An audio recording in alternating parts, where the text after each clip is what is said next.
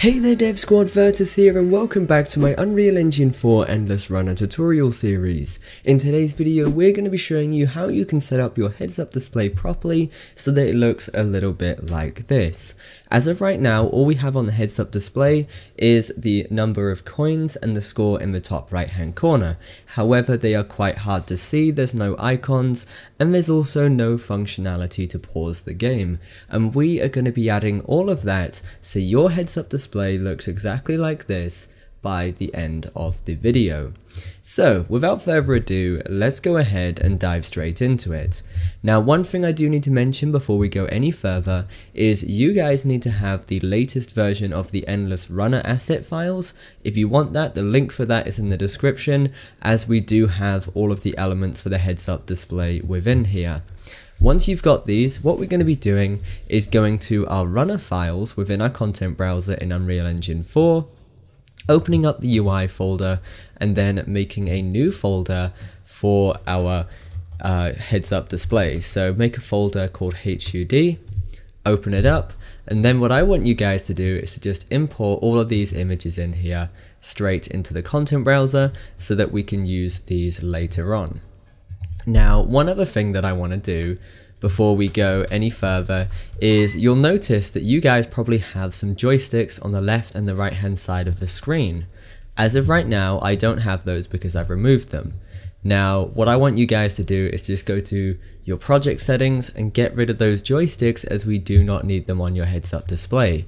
The way that you're going to do this is go to input and then default touch interface select the drop down and just stick, uh, stick this to clear and it's going to get rid of those joysticks as you will not be needing them for your game. Once we've done this, what we can do is start constructing that widget blueprint for our heads up display. Now we already have one created so we can just use that. So what we're going to be doing is going to runner files, blueprints and, and opening up our runner HUD. Within here, we're going to be putting in all the graphics that we're going to need. So first of all, we have got our score and number of coins in the top right hand corner. So I'm going to drag in three images to go alongside those.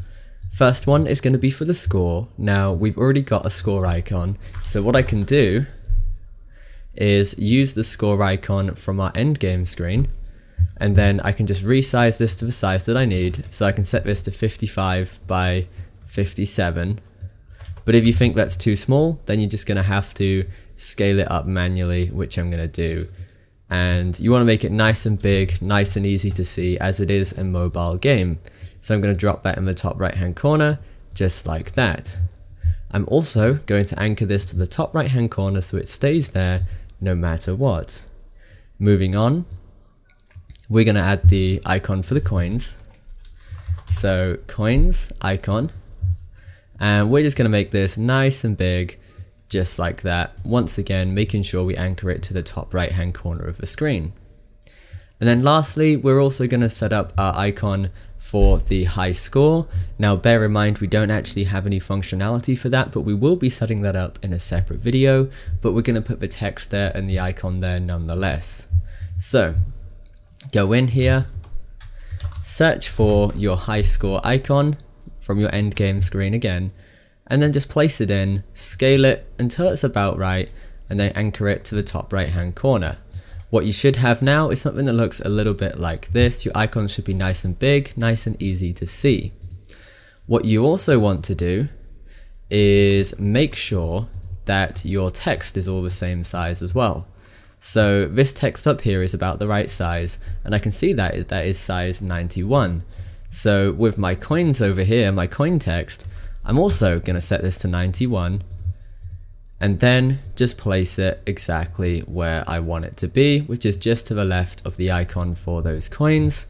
And then I'm also going to add one more piece of text with the score being four zeros, size 91. Gonna place this correctly and I'm just gonna move it to the right, uh, to the left of my high score rather just like that, making sure I anchor it to the top right. Notice in my heads up display, I've got this yellowed because it's the high score, it's not too important. So what I'm going to do is just set the color of this using my color picker to the yellow color. So what we should have now is if we compile this and press play, you can see we've got our score quite clearly being displayed in the top right hand corner. We've got our coins and our high score and it's a bit easier to tell which piece of text is which because we've now got those icons next to it. So that side of the heads up display is all good. Next up, what I want to do is add in the little pause button in the top right hand corner. You're going to be able to click this, whether it's with your mouse or on your mobile device, and it's going to pause the game. We're going to set some functionality up for that. So let's go and do that.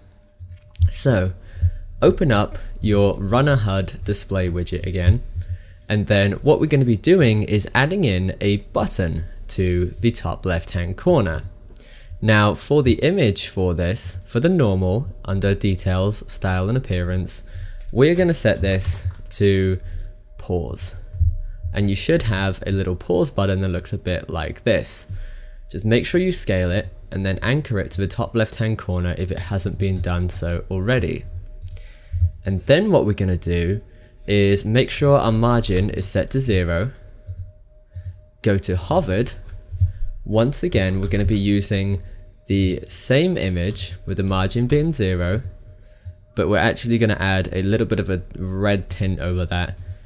And then lastly, for the pressed image, once again, we're going to be using pause, margin 0, and we're going to set this back to the default image, which is good. So if we compile this now and press play, we should have a little clickable button in the top left hand corner. Now bear in mind it shouldn't be doing anything at the moment as we haven't set up any functionality for it but what it is doing is you can see you've got your button set up and we will be able to click this. Now the way that we're going to add the functionality for this is we're going to have a second widget blueprint which is going to contain these assets here, piece of text saying game paused, and then two images, uh, sorry, two buttons, one to continue the game and unpause, and then one to leave and go back to the main menu once we have set that up. So what I'm going to do is within our runner HUD, we're going to click on this button, scroll all the way down to the bottom of the details panel, and we are going to tell it to first and foremost pause the game, and then we're going to tell it to create a widget which is going to contain those other elements. So what we're going to do is drag out from the execution pin for the event for that button and we're going to look for set game paused. With this we are going to make sure it's ticked. So now when you click that button it's going to pause the game and we can test this by pressing play and then just clicking that button and you can see now it has paused the game for us. Once you've done that we are going to be creating a widget and with this widget, we are going to be adding it to the viewport. Now we haven't got a widget just yet for the pause game, so we've got to go and create one. So compile this, you're going to have an error because we haven't filled that out yet. But what we're going to do is right click, add a new widget blueprint within our content browser, and we're going to give this the name paused. Open this up, and then we are going to quickly place in two buttons, and a piece of text. So with the text, anchor this to the center of your screen, and then with your text, set this to game paused with a big old exclamation mark at the end. And then what we're going to do is just scale this up nice and big so the player knows they have paused the game. So what you should have is something that looks a little bit like this with our two buttons. Start off with the first one, which is for continuing. Go to your appearance under style in normal in the details panel and set this to continue button. And then for the margin, set that to zero, the size X and Y, copy it from down here and paste it up here. So what we're looking at is 385 by 91 and you should have the correct size button then. All we're doing then is setting up the hovered one, which is going to be continue hovered. Sorry, continue hovered. Set the margin down to zero. And you can see it's now when you roll over it it's going to have this yellow color to it instead. And then lastly we're going to be setting up the pressed image which is when you actually click it. And this is just going to be going back to the normal look of that button. Make sure you set your margin down to zero on that as well. Now for the functionality for this continue button what we're going to do is go down create an on clicked event. So when you press that button we are then going to tell it to set game paused and make sure this is unticked so it's going to unpause our game. And then we're also going to remove from parent with this widget to remove the pause screen so it's no longer on the screen. Hit compile and that should work for us. Now all we need to do is just set up the look of the second button. Mind you, we're not going to be adding any functionality to that. So for the normal, set this to leave button, margin 0, and size, copy it, so 385 by 91 up in the X and Y at the top here. And then make sure you line up these buttons nicely with the game pause text, bit like that. I am happy with that. And then we're just going to set up the hovered image, which is leave hovered margin 0 and then with your pressed just set this to your regular leave button making sure you set your margin to 0. Like I said, we're not going to add functionality for this leave button as we do not have a main menu just yet. What we can do, however, is close this up, go back into our runner HUD, open up the on-clicked event for this pause button that we made and make sure our class is set to our paused screen. So this way it's going to open up the pause menu. If we go ahead and compile this, press play, we should have our HUD looking just the way that I wanted it to. I can press the pause button in the top left hand corner and then I can also press the continue button to get back into the game. Now notice my two buttons are off to the left of the game paused and that is simply because our anchor points aren't correct.